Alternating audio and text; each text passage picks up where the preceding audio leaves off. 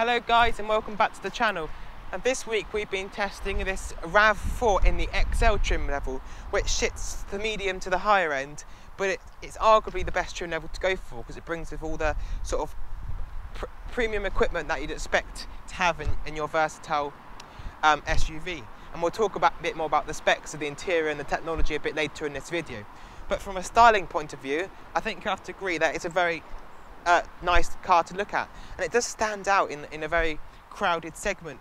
And it looks very muscular, um, with nice sharp mus muscly lines on the bonnet here, which really does help with your visibility from looking out to judge where the end, end and the corners of the car in, which is, it's, which is great considering this is a relatively large vehicle.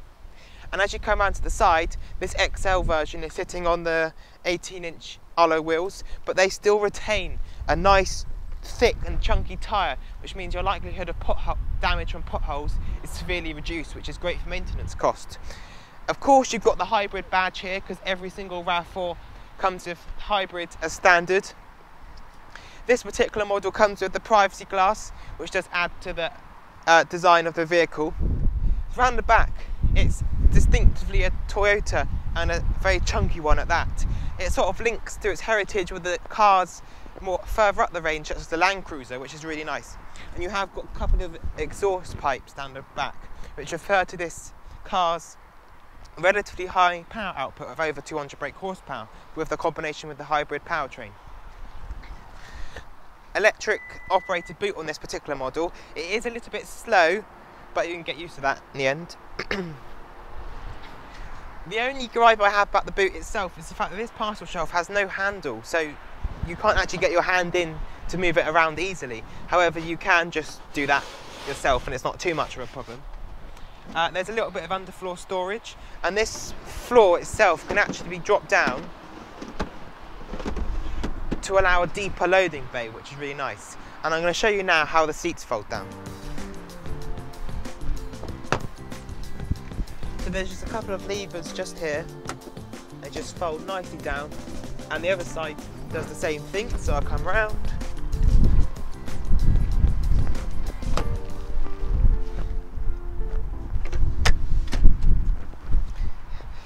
Just put the false floor back up to its higher position.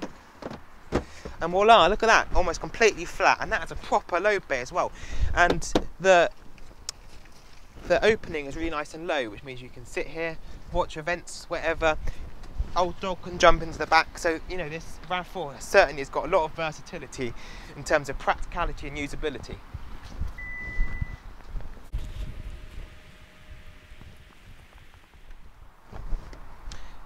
Now, this car is, screams versatility and practicality, as I mentioned throughout this video.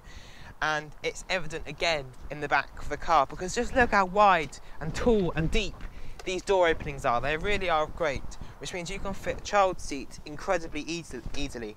And of course, you've got Isofix on both of the outer seats themselves. And also, it's the perfect height just so you can sort of flop in. So for older relatives, it's very easy for them to get in and out of the car. Of course, you've got uh, decent sized door bins, a nice feeling solid. It doesn't move at all, which just shows how strong Toyota's uh, build quality is. Grab handle there, which is nice. Um, it's a nice brushed aluminium trim on the door handle and also on the door trim. It's also um, got some nice comfort back here with a couple of air vents, which is often forgotten in this segment, unfortunately. And also, what's great is the fact that it's got actually got two uh, two USB uh, charging ports there, so you can keep your devices fully charged. So, what about them, the seats themselves? Well, they're nice and wide you've got decent, very good headroom, and with the panoramic roof, which is just over £800 optional extra, um, lets floods the cabin with light, so it's a very pleasurable space to be. And it comes with a centre armrest with a couple of cup holders, And you know, look how soft that is.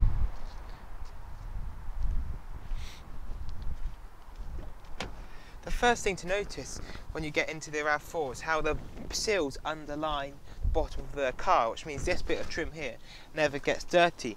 And on the majority of the cars, this is overlooked, so it's really great to see that Toyota have thought about this.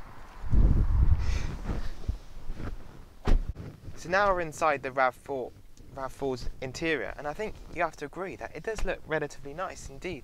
And Toyota have really stepped up their game in terms of the interior quality of this RAV4, being the fifth generation RAV4 in fact, because everything you touch is in the high eye points are really nice. Everything feels solid. The doors shut with a nice solid sound too, and like the leather leather on this Excel um, edition, the carpet mats, everything does feel very high quality indeed. In terms of technology, you've got the centre infotainment screen here, which is positioned pretty much like directly in your eye line, which means you don't have to take your eyes off the road too much to look at the sat nav or change your radio station, which is good.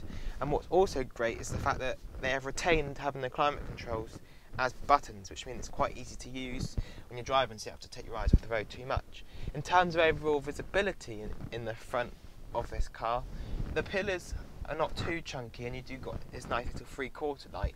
But what the best thing is is the fact you can see exactly the, dimensions of the bonnet as it's got nice haunches and it's a relatively long and flat bonnet so you can re really place this car nicely on the road. And also the door mirrors are really wide and give a nice expansive view of what's behind and to the side of you. And rear visibility is quite good too apart from the little pillar towards the back but it's not too much of a problem. And I think the visibility of this car is so good is because it's got such a lot of glass because the window line is relatively low so it, it does feel very nice and airy and it means you can see even smaller cars that are down by the side of you. So now let's talk about the powertrain uh, for the RAV4. You've got to prop the engine, the bonnet up with just this little stick, which is common on most cars now, unfortunately. And every RAV4 comes with uh, the combination of this two and a half litre petrol engine and also a hybrid motor. Now it can be specified in either front wheel drive like this particular car or four wheel drive. Um, and this in combination with the engine and the battery, it produces on the front wheel drive models 215 brake horsepower and on the four, four wheel drive models it's up to 219 uh, fuel economy is, is pretty impressive really. You know, this is a large, a large SUV we're talking about here, and it will easily, easily manage 45 miles per gallon, um, no problem at all. And if you're really gentle, get, you can get it into the low 50s, no problem at all, which is great because a lot of these hybrids don't actually get as good fuel economy as what they claim. But this, in our hands, this Toyota RAV4 has been pretty good. So now we looked under the bonnet, let's talk bit more how, how the hybrid works in day-to-day -day use. Well, you've got th three uh, driving modes, Eco, Normal and Sport, and also this EV mode button.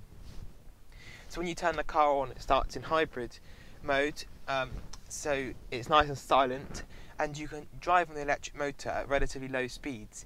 However, as soon as you press the accelerator a relatively hard amount, such as going up hills or progressing up to sort of like 30, 40, 60 miles per hour, then the engine will cut in to help it accelerate up to those speeds. But if you can keep a gentle right foot around town specifically, you can um, ride on the electric motor more than what you might expect, which also contributes to that incredible economy that this gets for a, a, a relatively powerful and also large car. Um, it's mated to a continuously variable transmission, so it hasn't actually got any gears as such, so it is like one continuous gear. So when you accelerate hard, it does make a little bit of a drone, but you know, that's not really how this car is designed to be driven that hard, and certainly for the majority of the time, the engine itself is nice, is nice and hushed. Toyota as a brand has an excellent reliability record consistently being one of the best alongside its sister company Lexus. And it comes with it as a peace of mind of a five year warranty, which is proudly presented by this um, little five year warranty uh, sticker in the back window, which you see on every Toyota, because the majority of cars in this segment come with only three years warranty. So that is a real selling point. So then, as you can tell from my review of this car so far, I haven't had much to complain about. And that's because this car is an excellent all-round package and you can tell it has been incredibly well thought out even from the initial design um, process, which is great. And some cars often overlook some of the most basic principles that this Toyota RAV4 does get just perfectly right. With the combination of excellent blends of performance and economy from the two and a half litre uh, petrol engine and a hybrid motor, which gives you decent acceleration and incredible fuel economy for such a large and heavy vehicle.